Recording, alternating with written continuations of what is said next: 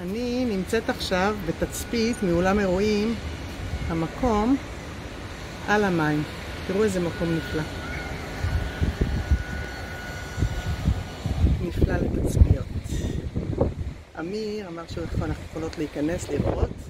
חשבנו לשבת לשתות כאן, אבל זה אולם, לכן אה, נכנסנו.